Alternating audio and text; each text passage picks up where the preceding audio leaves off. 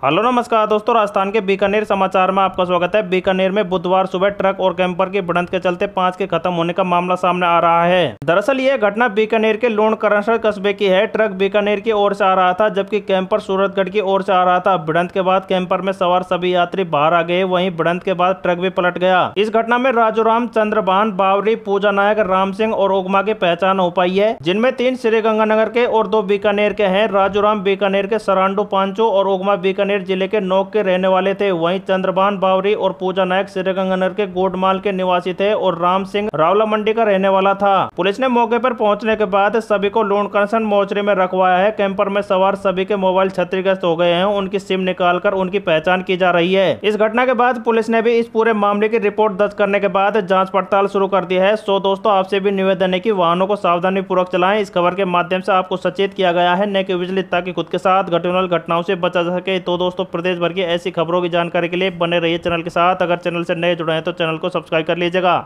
मिलते हैं अगली वीडियो के साथ। जय हिंद दोस्तों।